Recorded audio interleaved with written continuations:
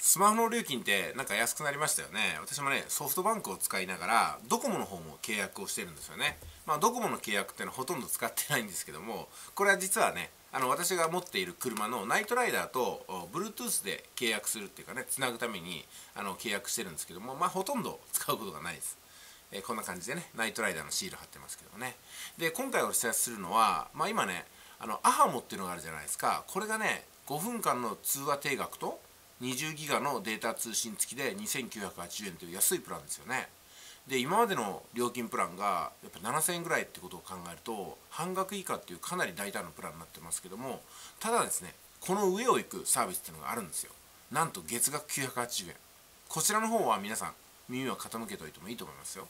うん、私はね基本的には料金を払うだけの携帯契約ってのはあんまりお勧めしないんですよ。でもユーザーオンリーっていう風に譲らない方もいるんでそういう方にはまあどこも980円で使ってもらえばいいんじゃないかなと思いまして今回の情報をお知らせすることにしています、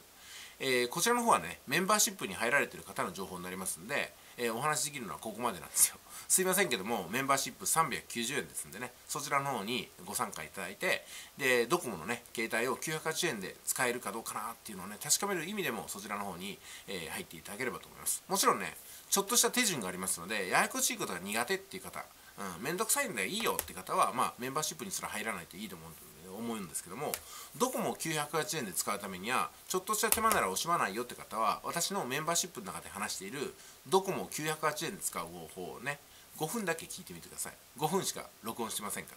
ら。5分聞けばやることがシンプルに分かります。ですんでね、えー、よろしかったら、まあ、やっぱりメンバーシップの方に入っていただければなと思いますよね。ドコモの回線月額980円興味ないですか？それでは以上です。